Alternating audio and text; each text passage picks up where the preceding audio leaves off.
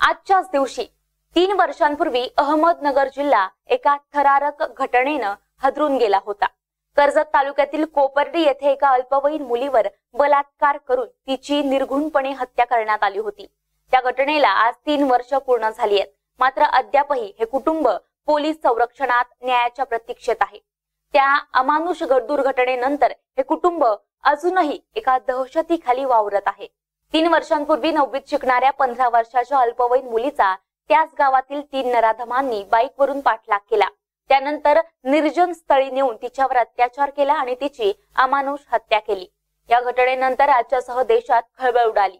तर पीडित कुटुंबाला आजही पोलीस संरक्षणाखाली राहावं लागतंय.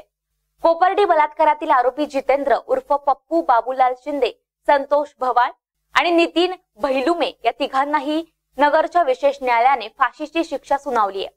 ज्येष्ठ वैद्यज्ञ उज्ज्वल निकम यांनी त्यावेळी पीडितेची बाजू मांडली. तर आरोपीच्या वतीनं ऍडव्होकेट बाळासाहेब खोपडे यांनी युक्तिवाद केला.